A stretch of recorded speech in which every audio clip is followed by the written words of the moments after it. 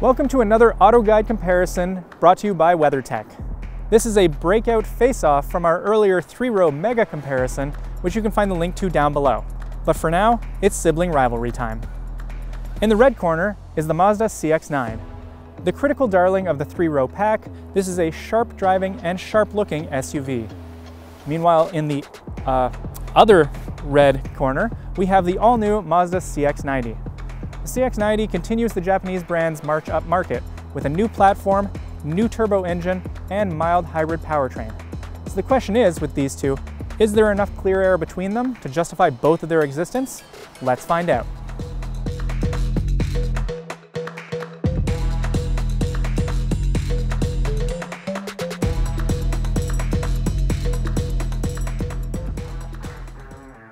Before we move on, let's take a second to talk about our sponsor.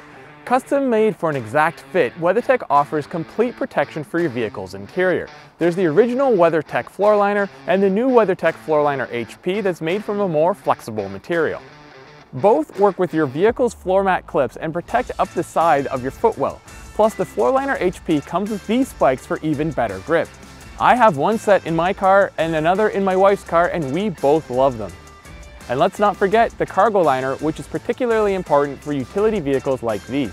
All WeatherTech products come with a lifetime guarantee, so do yourself a favor and click the link in the description below and find the perfect fit for your car today.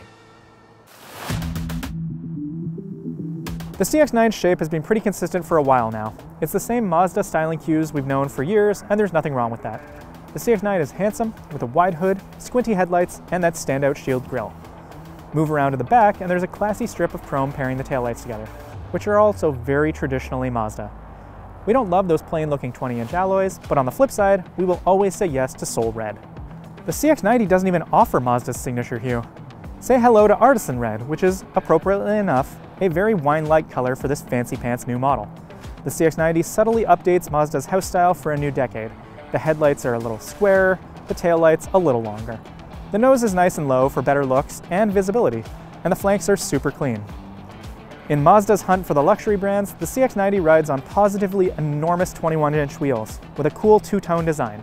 The tires are also a wide 275 section. The Mazda CX-9 pretty much led the way for mainstream models with premium cabins. There's a distinct air of quality in there, even as one of the oldest models in the segment. General material quality is pretty great, although the fake wood does feel a little out of place. The dashboard's design is simple and sleek, and it flows down into a super wide center console. All of the CX-9's main controls are grouped together nicely, which makes them easy to access. Down on the center console, you have Mazda's rotary control because yes, this is still a touch-free infotainment system. Mazda has said repeatedly that that is a safety reason, and while we understand the argument, it still makes the infotainment system frustrating to use for passengers. The same basic system exists in the CX-90, only on a bigger screen. Honestly, that's probably the CX-90's single biggest hurdle if it's going to take on the traditional luxury brands, because it feels, well, just not very premium. That's honestly the only aspect of the CX-90 that really doesn't feel premium though, and this is even a pre-production model. Mazda has went for a unique fabric approach to the dashboard, and combining that with the light wood and the reflective chrome on the door panels, along with this clean, simple design, makes for a really airy cabin. Folks hopping out of a German car will actually feel right at home behind this thicker steering wheel.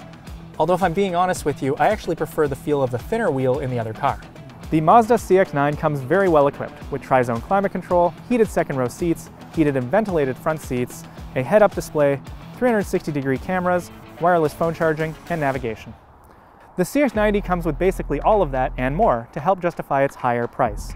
You've got second row ventilated seats, for example, you also have a fully digital instrument cluster, which shows off an advanced safety suite, including a very cool adaptive cruise control feature that shows you where the car places in the road and where other cars are around you. The Mazda CX-90 also has a larger head-up display and a higher resolution backup camera. Both of these Mazdas offer very supportive, very comfortable front row seats. In the older Mazda, like here, you do get a more heavily bolstered front seat, so those who are looking for a more sporty feel will probably prefer those. In the second row, it's pretty much a wash. You don't have a whole lot of headroom for either of them, but at least with the newer car, you get that panoramic glass roof, so it feels a lot more airy. Also, in the newer model, you get doors that open a lot wider, making it easier to get in the second row. It's in the third row where the older model starts to fall behind as one of the tightest waybacks in the class. It's not easy to get back there, and when you do, there's less legroom and headroom for adults. It's really more of a kid-friendly kind of place. Also, there's a lot more creature comforts in the back of the CX-90, which helps it feel more comfortable if you're going to be spending a fair amount of time back there.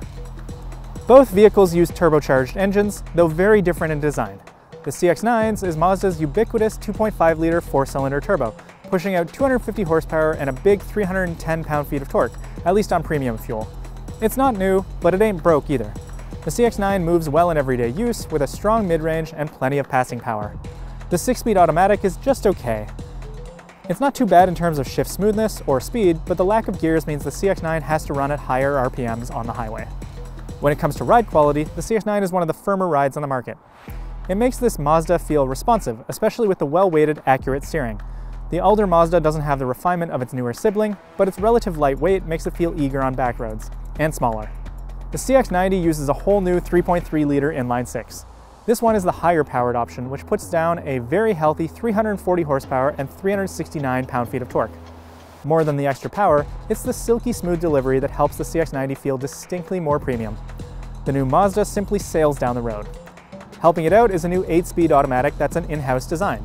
The transmission houses a mild hybrid system too, so low speed pickup is strong and the start-stop is seamless. It's also super efficient, with a quoted 28 miles per gallon highway figure, but in use, the CX-90 almost saw 30. Like its elder sibling, the CX-90 does ride with a little more firmness than your average three-row. Over bumps and potholes, the CX-90 is never harsh, just composed.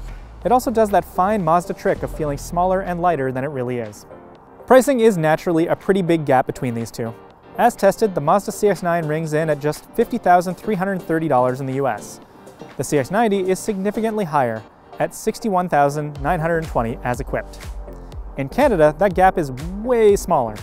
The CX-9 is 56,495 in Canadian loonies, meanwhile the CX-90 is 65,745. Whenever Mazda releases a new double-digit SUV, we have to ask the question, does the single digit still make sense? So far it's been 50-50. The CX-3 is dead, but there is clear air between the CX-5 and the CX-50. Here, it's another win.